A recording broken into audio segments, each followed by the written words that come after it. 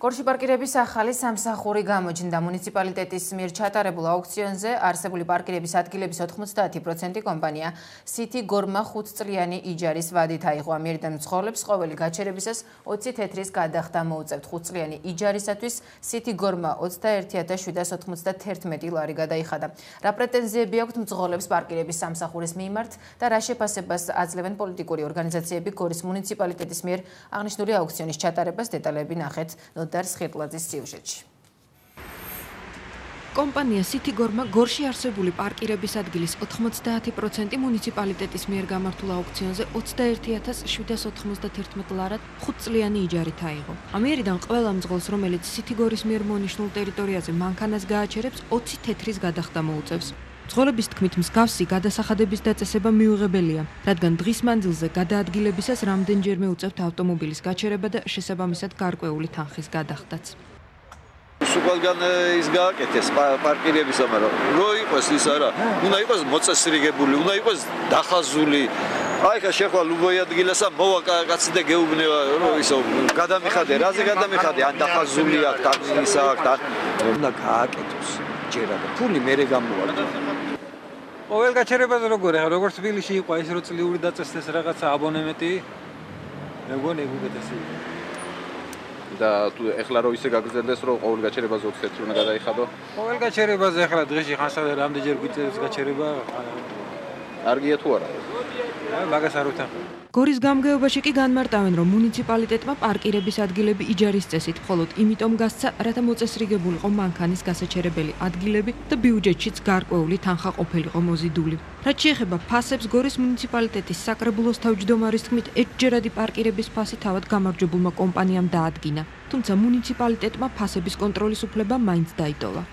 კომპანიას ევალება რომ ის ადგილები, რომელიც მუნიციპალიტეტმა გამოყო პარკირებისთვის, ამ ადგილებს პირველ რიგში მოუაროს და აქედან მუნიციპალიტეტს რაღაც შემოსავალი დარჩეს. მთელი დედააზრი ის არის, რომ აქ ეს მეურნეობა მოწესრიგდეს და აქედან რაღაც შემოსავალი მუნიციპალიტეტმა ნახოს. პარკირების ფასი, რა თქმა უნდა, დაადგენს თვითონ თავად კომპანია, თუმცა ჩვენ გავუწევთ ამას კონტროლს, რომ არ იყოს ისეთი ფასი, რომელიც მიუღებელი იქნება ჩვენი მოქალაქეებისთვის. და შემდეგ კომუნიზაცისგან თუ არის საერთაშორისო თქვა მოსახლეობა. ამ ამ ამას ჩვენ ვიტოვებთ უფლებას, რომ ვაკონტროლოთ ეს ფასი, არ მოხდეს ისეთი ზრდა. სხვადასხვა პოლიტიკური პარტიების წარმომადგენლებისთვის კი საერთოდ გაუგებარია თუ რა მიზეზით მიიღო მუნიციპალიტეტმა პარკირების ადგილების აუქციონზე გატანის გადაწყვეტილება. არსებობს ეჭვი აუქციონის კეთილსინდისიერად ჩატარებაშიც კი. საკრებულოს წარმომადგენლის რესპუბლიკელი დავით რაზმაძის თქმით, საკრებულოს წევრები ინფორმირებულიც არ იყვნენ აუქციონის ჩატარების თაობაზე.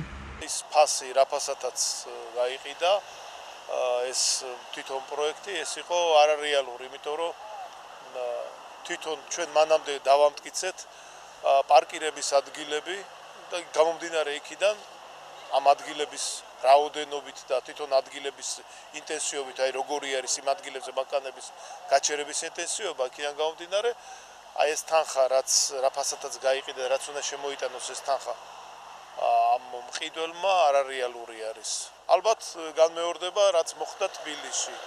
და მე ალბათ მოხდება ფიქსირებული თანხების შეიძლება ის მიყვარს გორი ეგეთი რაღაცა შემოიღო და ეს ყველაფერი მოდის მაღლიდან და ყველაფერი გადადის ერთი და იგივე ხერხემალზე. ხალხს ხდიან ვალდებულებს, რომ გადასახადები გადაიხადო კიდე. მარტო თქვენ წარმოგიდგენთ ყოველდღიურად რამხელა ხარჯი იქნება მთელი დღის განმავლობაში მანქანით რომ მოძრაობ, ყველა მისულაზე უნდა გადაიხადო 20 თეთრი, ხო? ჩემი საზრით ეს ჩემი სუბიექტური აზრია. ალბათ საომოლოდ როგორც თბილისშია სიტი პარკი, ისეთი ისე იმუშავებენ ალბათ მე წლიური გადასახადს დააწესებენ და რაღაც 10 ლარი იქნება, 20 ლარი იქნება, იმასთან დაკავებული ეგრე გახდება ალბათ ის ჩემი აზრია რა. და ალბათ ქარელშიც ესე გაკეთებ, თელში დაკაც ესე მოიცავენ და ნელ-ნელა თელი საქართველოს მოიცავენ მე საომოლოდ ისე ალბათ. Ну აღარ იციან ბიუჯეტი რითი შეავსონ და ერთ მორიგი ბიუჯეტი შევსების ხერხია მეტი რა უნდა იყოს ტელეკომპანია ტრიალეთი დაინტერესდა თუ რა უფლებით და მოვალეობით მიიღო კომპანია სიტიგორმა ქალაქში არსებული პარკირებისთვის განკუთვნილი ადგილების დიდი ნაწილი თუმცა გამარჯვებული კომპანიის ხელმძღვანელმა ზაზაილურიძემ კომენტარის გაკეთებაზე უარი განაცხადა მიუხედავად იმისა, რომ მოსახლეობის უდიდესი ნაწილი უკმაყოფილოა ერთჯერადი პარკირებისათვის დაწესებული გადასახადით, ძღოლებს თითოეული გაჩერებისთვის 20 თეთრის გადახდა მაინც მოუწევთ. რადგან მუნიციპალიტეტმა ფასების დადგენის უფლება კომპანია City Gors დაუტოვა.